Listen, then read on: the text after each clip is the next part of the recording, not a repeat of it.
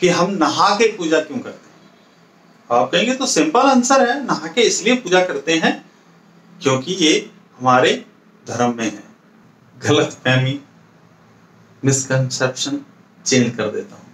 हमारे धर्म में कहीं भी आप पढ़िए शास्त्र में, सिर्फ़ वेद के मंत्र, वेद की ऋचाएँ, संध्या और गायत्री मंत्र सिर्फ़ तीन चीज़ें आपको नहा धो के जनेऊ पहन के करनी चाहिए।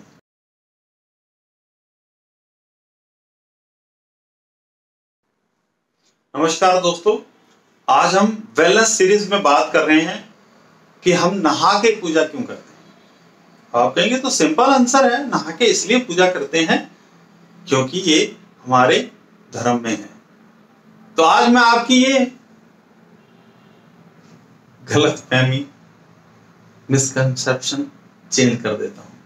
हमारे धर्म में कहीं भी आप पढ़िए शास्त्र में, सिर्फ़ वेद के मंत्र, वेद की ऋचाएँ, संध्या और गायत्री मंत्र, सिर्फ़ तीन चीज़ें आपको नहा धो के जनेऊ पहन के करनी चाहिए। उसके अलावा, ओम नमो भगवते वासुदेवाय, ओम नमः शिवाय कोई इशू नहीं।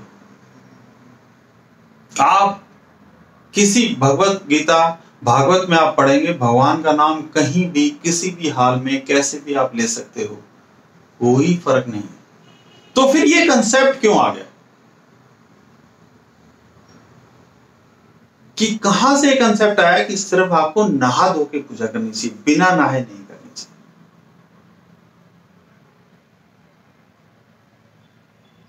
राइट तो अब इस जर्नी को हम समझने की कोशिश करते हैं और अभी तक आपने हमारा चैनल सब्सक्राइब नहीं किया है तो कर लीजिए ताकि हम और आप जुड़े रहेंगे।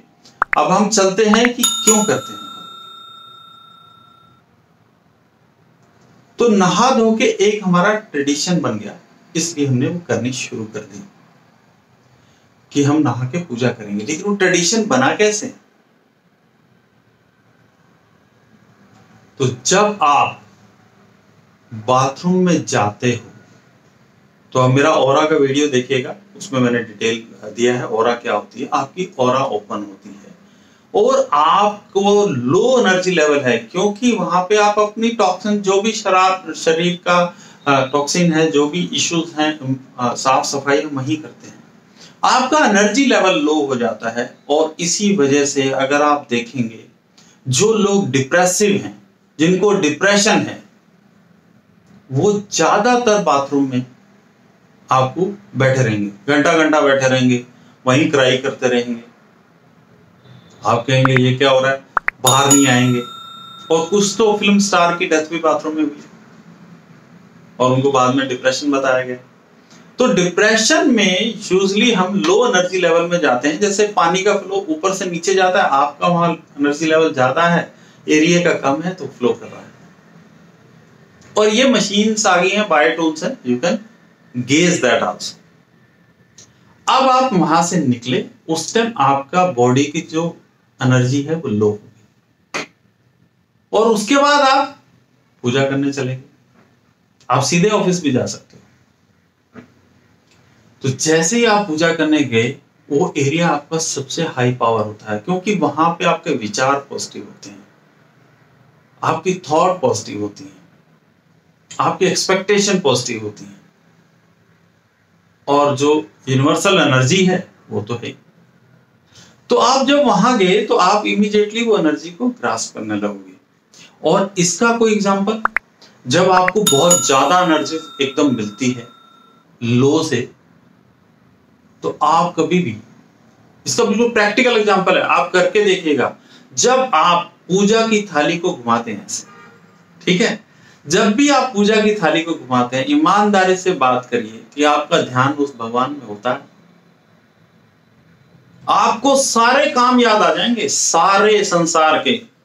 मुझे उससे पैसा लेना है, वो बिज़नेस देखना है, मेरे को फलानी बात करनी है, कोई रिलेशनशिप है, कुछ भी है एनीथिंग क्योंकि बहुत सारी एनर्जी आपके अंदर आ रही है। उसको कंट्रोल नहीं कर पा रहे हो।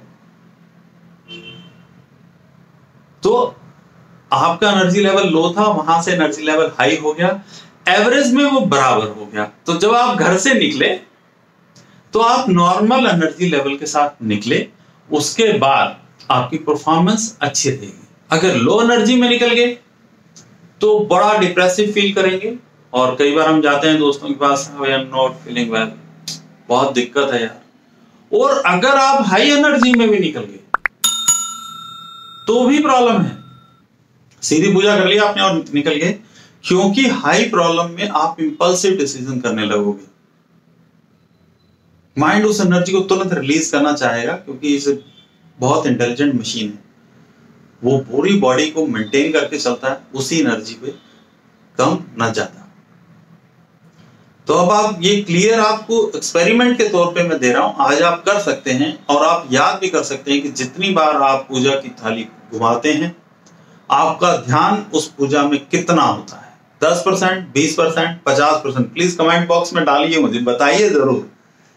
और उसी हिसाब से आप देख लीजिए कि आपका टाइम बाथरूम में कितना होता है। आप बताइए हमें वीडियो कैसा लगा? मेरे ख्याल आपको ये समझ आ गया होगा कि हम नहा के पूजा क्यों करते हैं। ऐसी छोटी छोटी वेलनेस सीरीज़ हम लगातार आपके साथ शेयर करेंगे। अगर ये वीडियो अच्छा लगा हो प्लीज़ लाइक करें सब्सक्राइब करें और शेयर करें और जुड़े रहें हमारे चैनल से। जल्दी मुलाकात होगी एक नई वीडियो के साथ। तब तक के लिए नमस्कार।